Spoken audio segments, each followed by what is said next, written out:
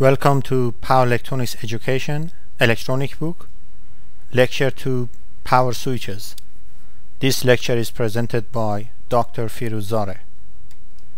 The contents of this lecture are ideal and practical switches, losses, harmonics and EMI, types of switches, gate drives, power switches in different applications. So key elements in a power converter are power switches which operate at high voltage and or current. They chop DC or AC voltage current based on a pulse pattern generated by a controller to achieve a desired voltage or current. That means the controller can measure the output voltage and output current compared with the reference. So the reference signal can be either current or voltage so finally the controller can generate the gate signal and this signal is applied to power converter which basically turn on and turn off the power switches. And if we have a DC current or DC voltage here we can chop the current or voltage based on the pulse pattern generated by the controller. That means we can synthesize any current or voltage waveform and then we can generate that one in high voltage high power. So basically power electronic is um, power processing and is a mapping from low voltage into high voltage system. When we consider power switch as an ideal switch that means the switch can handle unlimited current and blocks unlimited voltage so unlimited voltage and unlimited current. And the voltage drop across the switch and leakage current through the switch are zero. So that means when the switch is turned on the voltage across the switch is zero and the current through the switch is zero when the switch is off. So the switch is turned on and off with no rise and fall times. So that means no rise and fall times. That means the switch is very fast so this assumption help us to analyze a power circuit but for design and practical consideration we should consider real power switches. In a real case ideal switches do not exist. During switching transients there are significant switching losses associated with DVDT and DIDT These phenomena depend on several issues such as characteristic of power switches, control signals, gate drives, stray parameters and operating points of the system. So suppose that the switch is in turn off state. So when we apply gate signal just at this stand, then the voltage across the switch is decreasing while the current through the switch is increasing so here over this switching time what's happened? The power dissipate in this switch which equals to voltage times of current means that this is the switching losses associated with turn on state. Then over this switching time the voltage across the switch is increasing while the current through the switch is decreasing. And then we have these losses as well associated with turn off state. So this is switching losses. So over one cycle over one switching cycle which is defined as a TSW so we have one turn on and one turn off losses. And then when the switch is on because the voltage across the switch the voltage drop across the switch is not zero. So the voltage times of current defines the conduction losses. So this is conduction losses. But because assuming that the leakage current is zero so zero times of voltage means that the conduction loss when the switch is off is zero. So in this case we can see that by changing the switching time either during turn on time or turn off time we may decrease the switching losses but the point is that we can increase the DVDT and the IDT these are main issues in power electronics because create significant overcurrent and overvoltage and create significant EMI issue. So real power components have limited power, voltage and current handling capabilities. They have also limited switching speed and that's because because of charging and discharging internal capacitors exist between the junctions which limit the maximum operating frequency and create switching losses. Also we have to notice that on state and on off state resistance or voltage drop and leakage current create conduction losses. So when we design a power electronic circuit, we have to notice that we have to calculate the total loss associated with switching and conduction losses.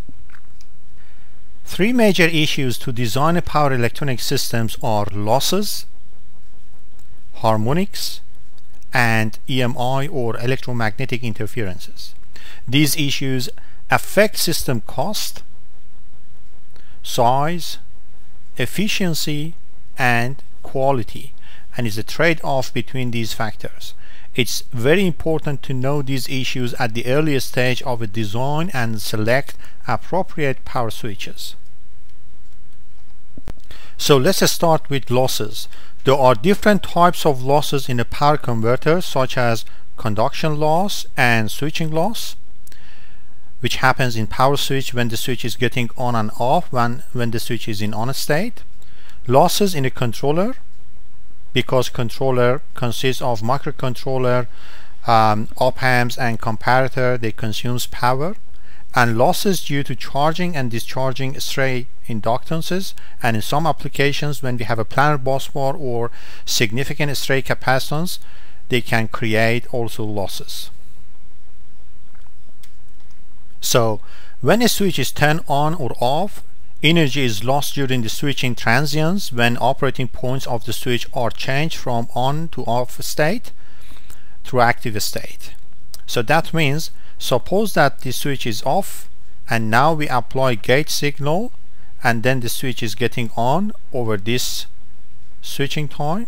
So at this point the switch is in on state. So this is the voltage drop across the switch. So the point is that the point is that because power, as I mentioned before, equals to voltage times of current, so that's why this is the switching losses when the switch is getting on. And we know that when the switch is off, normally leakage current through the switch is zero. So that's why we don't consider conduction loss when the switch is off but because the voltage across the switch is not zero depends on the switch but the forward voltage is not negligible so voltage times of this current creates this conduction loss that we will consider in the total loss when we consider the conduction loss. So same scenario happens when the switch is getting off. That means over this cycle the voltage across the switch is increasing the current through the switch is decreasing. So this is the switching loss when the switch is getting off. So finally these are the total switching losses and this is the conduction loss and finally we can define the total loss which consists of switching loss and conduction loss. So the average power loss in a switch over one switching cycle which is defined as TSW is given by the following equation. So this is the total loss average loss over one switching cycle. So basically we can calculate based on this equation. This is the current through the switch this is the voltage across the switch. So then finally we can define as a conduction loss and switching loss. So assuming that the on and off switching time are small compared to switching cycles so that means in this case also assuming that the leakage current through the switch is zero so they can we can easily find the conduction loss. So conduction loss is voltage drop across the switch times of current through the switch suppose that over one switching cycle current is constant. And times of this ratio this ratio means that turn on time over switching cycle which is basically defined as a duty cycle. So finally we can simplify this equation and the conduction loss average conduction loss over one cycle is the voltage drop across the switch times of current through the switch and times of duty cycle means the turn on over switching cycle. We can calculate the switching loss based on instantaneous current and voltage waveforms. Normally we approximate the current and voltage waveforms to be able to find the switching losses but in real case it's quite difficult and challenging because we need high bandwidth measurement circuits with low stray inductance to be able to measure the voltage and current waveforms accurately. So let's look at the switching losses. Basically switching losses over one switching cycle is given based on this equation.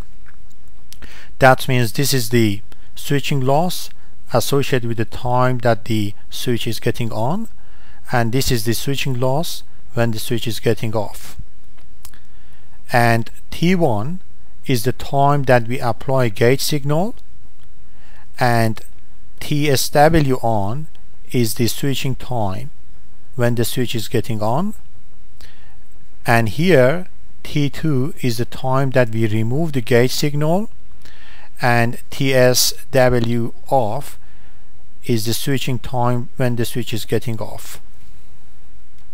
We can show that the switching loss is proportional to the switching frequency. That means based on this simple equation which shows that the switching frequency equals to 1 over switching cycle then we can put in the previous equation and the switching loss equals to switching frequency times of switching losses associated with on and off time. So in this case we can see that by increasing the switching frequency the switching loss is increased but we know that by increasing the switching frequency we can improve the quality we can reduce the harmonics and ripple. In all power electronic systems, there are stray inductances and capacitances due to interconnection between the power components via wire, conductor plates, and or any other types of conductors. In a power electronic circuit, when we turn on and off a switch, we may charge and discharge stray inductance associated with the current loop, as shown in the following figure. That means suppose that this current loop has this stray inductance so once we turn on the switch we have this current through the inductor so that means suppose that the current is given this equation. So we store energy in this inductor. And once we switch off that means the current to the inductor amperes that means we actually lose this power. The second issue is that once we switch off if this is the current through the inductor then we decrease it down to zero. So this is basically if this is the current so basically this is significant the IDT and this times of a stray inductance gives over voltage and that over voltage appears across the switch and it may damage the switch. So that's why because of two issues extra losses and also over voltage we should reduce the stray inductance. Same scenario happens when we have stray capacitance. That means when the switch is off we charge the stray capacitance which may appear across the switch or if you have a plate copper plate. So parallel copper plates means that we create stray capacitance. So once we charge this capacitor that means we provide voltage across the switch and that means the energy stored in the capacitor associated with this equation and that's the voltage across the capacitor. So what's happened when we turn on the switch in this case we discharge the current through the switch. There are two issues. Again we lose this energy. That means over one cycle if we have turn on and turn off every time we charge and discharge a capacitor. The second is that when we turn on and turn off that will be the voltage waveform. So that means we have different dVdt here times of stray capacitance gives current. So the current depends on dVdt and stray capacitance. So if this stray capacitance is significant then we have a significant current through the switch which may damage the switch. Finally, the average power loss due to these stray components over one switching cycle is given by this equation. So this is the average power loss. If we have multi current loops so we have these losses due to stray inductances and stray capacitance. So instead of 1 over switching cycle we can write switching frequency because this one this is equal to switching frequency. So that means again by increasing the switching frequency we increase the total loss but again the advantage is that we can reduce the harmonics. In a power electronic system there are other circuits such as gate drives, controllers, sensors and passive filters which consume powers and also extra losses associated with these um, components. So when we are talking about filters that means the capacitors inductors can consume the power and that's because they are not ideal components.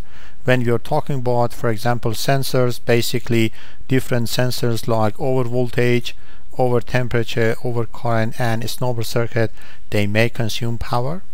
When we're talking about controller basically controller consists of logic device for example microcontroller or A to D or D to A so they consume power. And also analog circuit like operational amplifier or comparator they consume power. And when we are talking about gate drives that means the gate drive either high side gate drive low side gate drive or the other logic device to control the dead time they consume power. So in this case we consider extra power as p other which is associated with these losses So when we calculate the total loss in a power electronic system, so we should consider this loss as well.